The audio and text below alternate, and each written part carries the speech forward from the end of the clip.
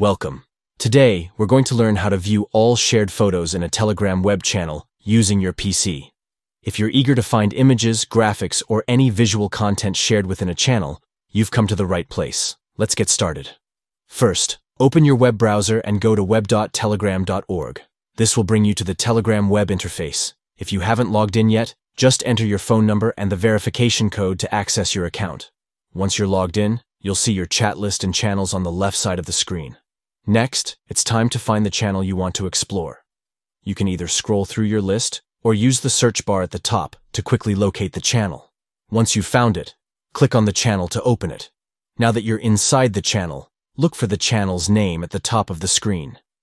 Clicking on the name will open the contact info page, where you can find various details about the channel, such as its description and member count. In the contact info section, you'll see several options. Look for the one labeled Media. This is where all the photos and videos shared in the channel are organized. Clicking on this option will take you to a dedicated area that displays all the shared photos, making it easy to access visual content without scrolling through countless messages.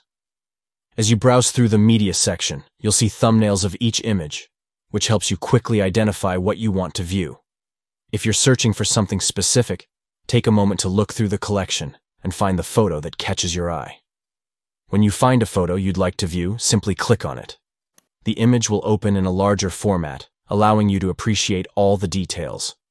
You can also download or share the photo directly from this view, making it convenient to keep your favorite images at hand.